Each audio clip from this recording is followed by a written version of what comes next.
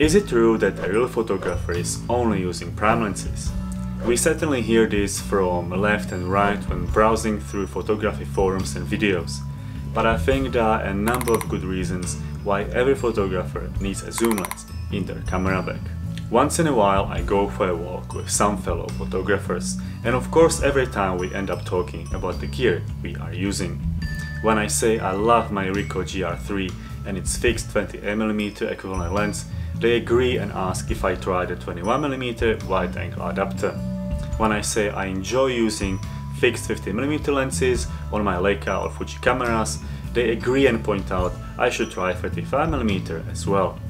But when I say I can't fault a good standard zoom lens, they blink and are lost for words. And I can read on their faces all the unspoken questions. What do you mean you love zooms? Aren't zooms worse than primes? You need to zoom with your feet. Real photographers only work with primes. And I get it, I understand. You put a zoom next to a prime lens and start worrying. Are you losing anything in terms of picture quality when using the zoom lens?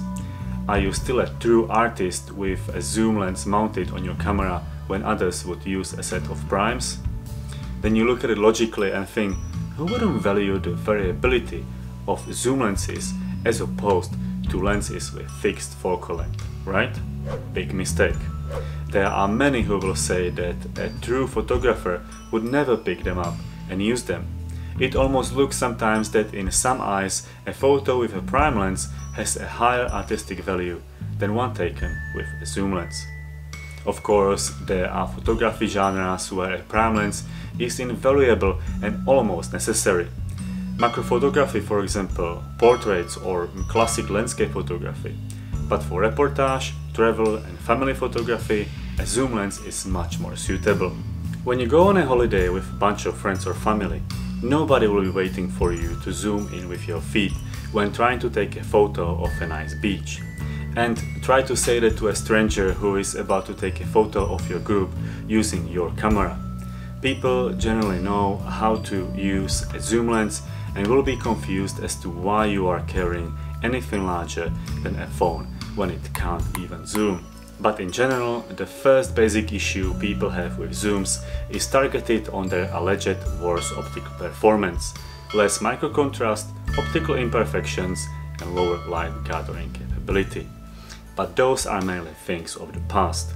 When zoom lenses started to appear, they were generally much worse than equivalent primes especially those kit lenses sold with consumer DSLRs. These were also very cheap and were easily outperformed by even an old cheap prime lens. But those days are long gone and now basically every interchangeable lens system has at least one very good standard zoom I took a lot of nice photos with the Fuji 18-55mm zoom lens and was literally amazed at how good the Leica 18-56mm is that I use with my Leica CL. This one is as sharp as it gets with nice macro contrast and non-existent distortion or vignetting.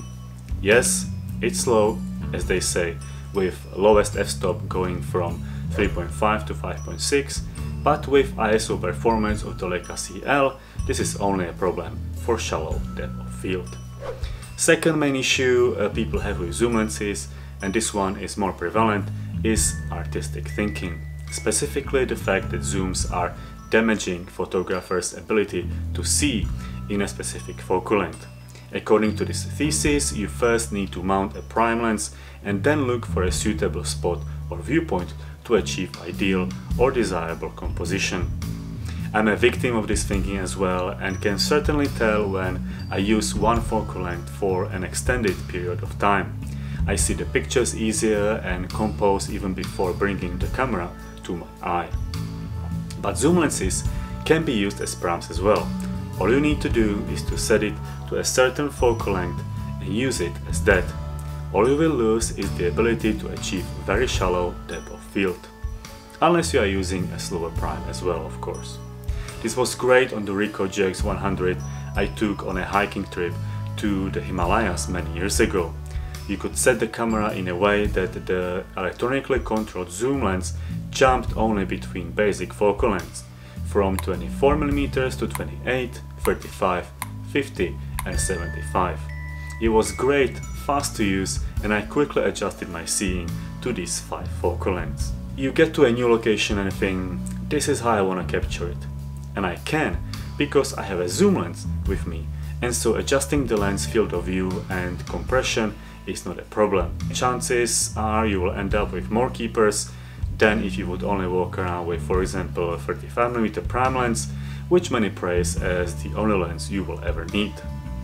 Still, zoom lenses can be detrimental to your photography style and skills, so try not to fall into the usual habit of using only extreme ends of your zoom lens range. Many people do this because they are not thinking about the scene they want to capture. They just point the camera and start zooming, trying to find the best looking composition. Now what about the elephant in the room, the infamous shallow depth of field?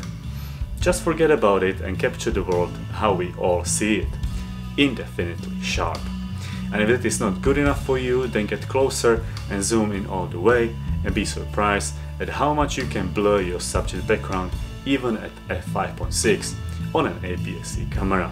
And if you want to know more about my favorite travel and general purpose zoom lens, check out this video about the Leica Vario-Elmar-T 18-56mm f3.5 to 5.6 but be careful, chances are you will want to get one for yourself.